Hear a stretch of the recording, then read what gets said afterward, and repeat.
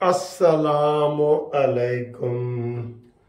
ਉਹ ਸਰ ਜੀ ਪਿੰਕੀ ਪੀਰਨੀ ਦਾ ਦੌਰ ਖਤਮ ਹੋ ਗਿਆ ਤੁਸੀਂ ਮੈਨੂੰ पीर मान लवो। उस दिन मैंने आपको कहा था कि सुप्रीम कोर्ट का फैसला दस और पाँच का आएगा। तीन दिन पहले कहा था तो दस और पाँच का आया। आज मैंने कहा था कि इंग्लिस्तान से अफ़गानिस्तान जीतेगा और मैं अफ़गानिस्तान के साथ हूँ। और अफ़गानिस्तान जीत गया पहला अपसेट क्रिकेट में पहला अपसेट जो पिछला चैंपियन है, आपको पता है ना, जो इंग्लैंड है, वो पिछले साल का चैंपियन है वर्ल्ड चैंपियन है। वर्ल्ड चैंपियन को उन्होंने धूल चटा दी, ऐसे हरा दिया। ते हुन दसो फिर, कानूनी टीवी की खबर कैसी पक्की होती है। ਹੁਣ ਮੈਂ ਤਾਂ ਮੈਨੂੰ ਜੇ ਲੱਗਦਾ ਹੈ ਗ੍ਰਿਫਤਾਰੀ ਮੇਰੀ ਹੋਣੀ ਹੈ ਕਿ ਇਹ ਵਕੀਲ ਸਾਹਿਬ ਤੁਹਾਨੂੰ ਖਬਰਾਂ ਕਿੱਥੋਂ ਆਉਂਦੀਆਂ ਨੇ ਅੱਜ ਅੱਜ ਅਜੀਬ ਅਜੀਬ ਖਬਰਾਂ ਤੁਹਾਡੀਆਂ 100% पूरी हो रही हैं तो या तो आप मुझे पिंकी पीरनी की बजाय पीर मान लें या मुझे वो ज्योतिषी मान लें हाथ देखने वाला तो या फिर मेरी गिरफ्तारी करो भी मेरी अंदर कोई जड़ा ना आ, अंदर राबते ने मेरे मुख्तलिफ जगह ते राबते ने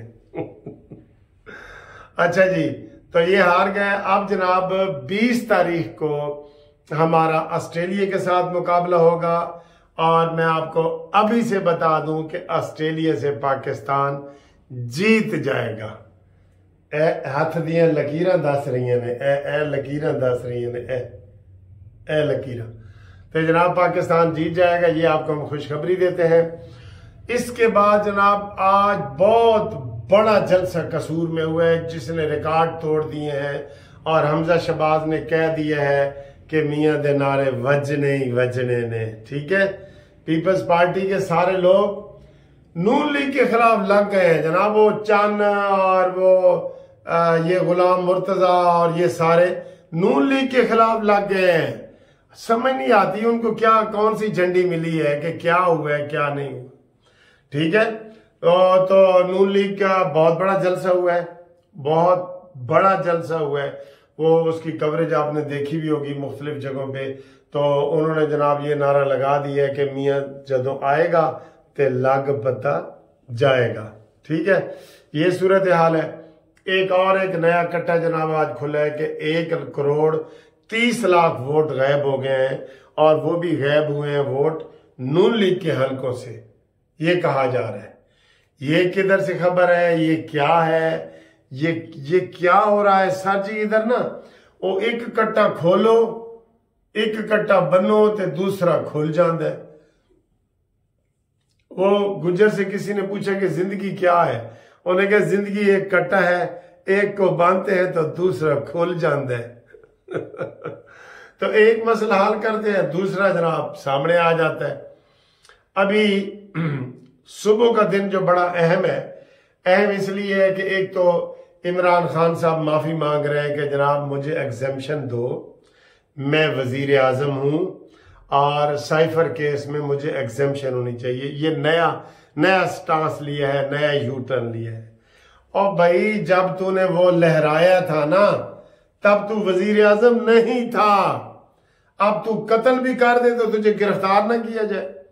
वो सिर्फ़ एग्जेम्पन कोई अगर होती भी है, वो भी फौजदारी केसों में नहीं होती।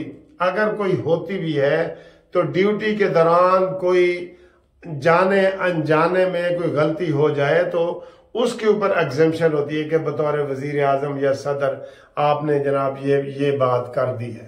ठीक है?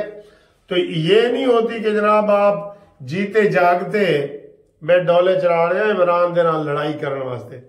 जीते जागते आप वो सैफर लहराए ऐसे सांप की तरह ऐसे तो बाद में कहे जी कि मेरे से गलती हो गई है नहीं ये नहीं हो सकता ये नहीं हो सकता सर जी ये नहीं हो सकता और अब आपने वो लोग तो ये कह रहे हैं कि एनआरओ मांग रहा है कह रहा है कि मैनू जान दो ਜਿਹੜੀਆਂ ਅਟਕ ਜੇਲ੍ਹ ਮੇਰੇ ਨਾਲ ਮੁਲਾਕਾਤਾਂ ਕੀਤੀਆਂ ਸਨ ਤੇ ਮੇਰੇ ਨਾਲ ਵਾਅਦੇ ਕੀਤੇ ਸਨ ਕਿ ਮੈਂ ਅਸੀਂ ਤੁਹਾਨੂੰ ਬਾਹਰ ਭੇਜ ਦਿਆਂਗੇ ਉਹਨਾਂ ਨੇ ਕਿਹਾ ਜੀ ਬਾਹਰ ਤਾਂ ਤੁਹਾਨੂੰ ਭੇਜ ਦਿਆਂਗੇ ਤੁਹਾਨੂੰ ਕੋਈ ਲੈਣ ਹੀ ਆਵੇ ਤੇ ਫੇਰ ਹੈ ਨਾ कोई लैंड दा आवे हाँ मुराद सईद आज आया था पिशावर अपने बहनोई के घर में गया है और पुलिस ने छापा मारा है तो पांच मिनट पहले मुराद सईद को पता लग गया है और वहां से उसने दुड़की लगा दी है और दौड़े लगाई और भाग गया है तो जब पुलिस वहां पहुंची है तो वहाँ पे उसके बहनोई ने रजिस्ट किया है, पुलिस को गालम गलोच दी है तो पुलिस वालों ने उसके बहनोई के खिलाफ एफआईआर दर्ज कर दी है, मुराद सीद की गाड़ी जब्त कर ली है थाना नासिर बाग में। और ये वर्षक का इलाका है, इसे वारसक भी कहते हैं वर्षक भी कहते हैं। उस इलाके से मुराद सईद भागी है। भागी है, कहती है, हम इमरान खान आएगी तो दो अरब उसके मुँह पे मारेगी, दो अरब उसके मुँह पे मारेगी। और दो अरब उसके मुँह पे मारेगी। अब वो भागी हुई है लड़की। वो मुराद सही जो है ना, वो भागी हुई है, पता नहीं किधर है। उसको पकड़ो पकड़ो उसको। किधर है जनाब? वो किधर है? पकड़ो। ये जनाब खबरें हैं। और नवाज़ शरीफ के हवाले से खबरें हैं कि जनाब वो शायद कल जो है वो यूएई का दौरा करेंगे। यूएई के दौरे में दुबई, कतर ये जितने भी यूएई में सात आठ मुल्क आते हैं ना, इनमें से इन इन इन इलाकों का दौरा है। तो वहाँ से वो आएँगे और उसके बाद मैंने तो इनकी कानूनी टीवी को कह दिया है कि कल उसकी नवाज़ शबाज शरीफ साहब की, नवाज़ शरीफ साहब की बेल मूव कर दो। कल जो है वो सोलह तारीख है तो पीछे रह जाएँगे चार दिन। अब उनकी मर्ज़ी है वो करते हैं या नहीं करते, उनको हम कह रहे हैं कि आप पहले करें ताकि कोई ऑब्जेक्शन हो, कुछ हो। एहतियातन आप पहले करें। ये एहतियात का तकाजा है। ये लाजमी है। लेकिन सर जी, अभी तक वो नहीं मान रहे हमारी गल। साड़ी गल नहीं मान रहे हूँ उन्होंने मर्ज़ी है। ठीक है? उन्होंने मर्ज़ी है। तो उस तो बाद जनाब, मैंने कहा था कि अगली वीडियो ये पेट्रोल वाली बनाएँगे। पेट्रोल जो है ना, पेट्रोल का गैस करो जी, कितना सस्ता होएगा। मैं जिसका गैस सही होगा ना, उसको मैं बिल्कुल वो इनाम का हकदार है। घूमती चाय में उसका नाम भी होगा और उसको बिस्किटों का पैकेट भी जो ना इन, इन, इनाम में देंगे। यानी कि थोड़ा बहुत इनाम भी उसको मिलेगा। तो ये बताएँ कि जनाब वो कह रहे हैं कि अट्ठतीस रुपए कम होगा कोई कह रहे हैं छत्तीस रुपए कम होगा कोई तीस रुपए कह रहे हैं। ते मेरा मेरा अंदाज़ा है सर दस तो पंद्रह रुपए।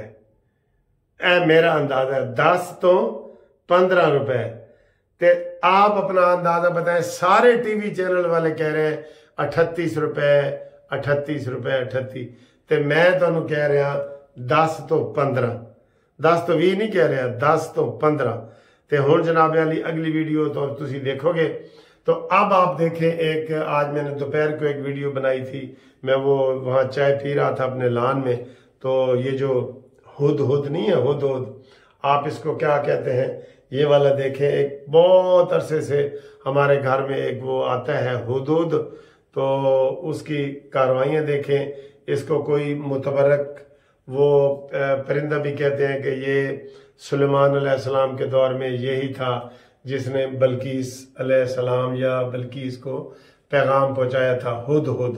तो क्या ये बात ठीक है या गलत है? आप ही बताएँ कि हुद को आप कैसे जानते हैं, ये देखें। ये जी मैं अपने घर के लान में बैठा हूँ। तो ये कह रहे हैं कि ये दुनिया का सबसे पुराना परिंदा है ये। इसको आप क्या क्या बोलते हैं बताएँ जी? ये मेरे बिल्कुल करीब आके बैठ गया है। कोई इसको हदूद बोलता है, कोई ये देखें कीड़े निकाल के खा रहा है। ये देखें ना, कल बारिश हुई है ना।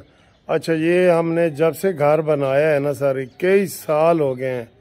ये यहाँ पे आता है और हमारे पास ही हम चाय शाय पी रहे होते हैं या कुछ कर रहे होते हैं तो ये हमारे घर के बिल्कुल पास। ये देखें, ये आता है, ये खाता है, ये। इसका क्या नाम रखें? इसका नाम रख देते हैं टीटू। टीटू टीटू, ठीक है? इसका नाम मैं रख देता हूँ, टीटू। ठीक है?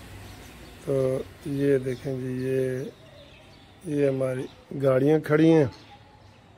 एक, दो, तीन, ये देख रहे हैं। और ये टीटू जो है, ये मेरे पास बैठा है बिल्कुल ऐसे पाँच फुट की दूरी पे। टीटू, क्या खाना है? मैं चावल ला दूँ आपको? टीटू भाई, क्या खाना है बताओ? मैं आपको चावल ला दूँ।